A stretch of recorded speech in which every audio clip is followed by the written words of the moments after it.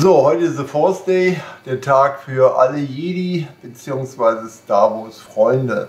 Es gibt natürlich einen wunderbaren Satz, den Yoda gesagt, Furcht ist der Pfad zur dunklen Seite, Furcht führt zu Wut, Wut führt zu Hass, Hass führt zu unsäglichem Leiden. Das passt zur Corona-Zeit, Covid-19 etc. pp. Da ist er.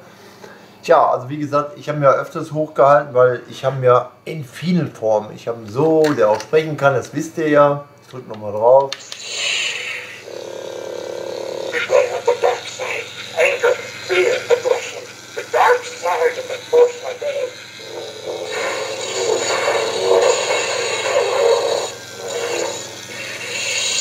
So, wir haben Corona-Zeit, wir haben Pandemie-Zeit, wir haben eine große Verarsche der Wirtschaft. Äh, die Frage muss lauten, wieso machen so viele mit? Weil ich verstehe es nicht.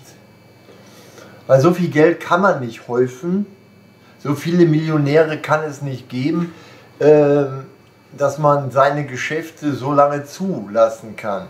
Wirtschaften, Restaurants, Hotels, Gastgewerbe, äh, Showbit, also so viel äh, Schweigegeld kann nicht gezahlt worden sein. Es mag sein, dass im ARD, ZDF und andere Schweigegelder gelaufen sind. Ich bin ja, wie gesagt, nicht nur auf Instagram unterwegs, sondern auch woanders und ich schaue mir wirklich tatsächlich alles an. Und äh, durch das Netz ist man ja roundabout mit der ganzen Welt und die ganze Welt kann man aber nicht verstehen. So, es gibt Milliarden von Menschen, es gibt Millionen von Menschen, es gibt vereinzelte Menschen, ja.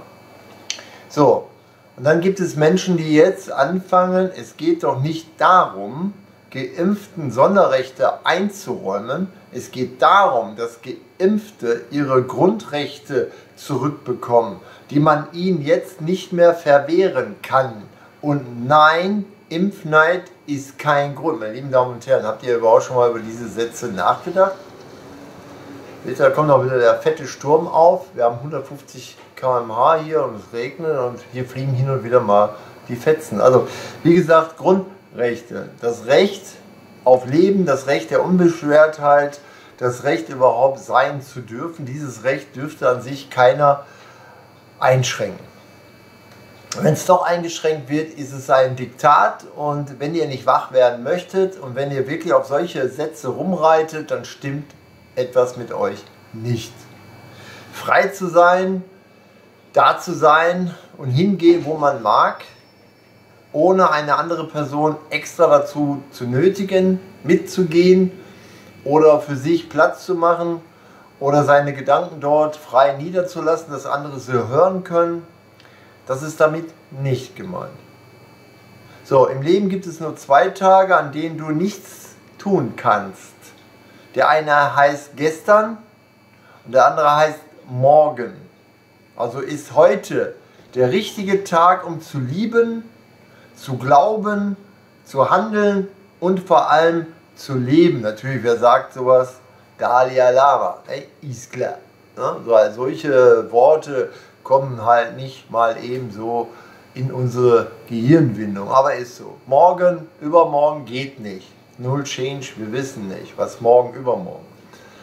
Aber gestern und wie heute, das können wir. Gestern haben wir erlebt, gestern wissen wir, was wir heute gemacht wegen gestern. Weil gestern haben wir heute etwas gemacht, um morgen damit leben zu können, vielleicht.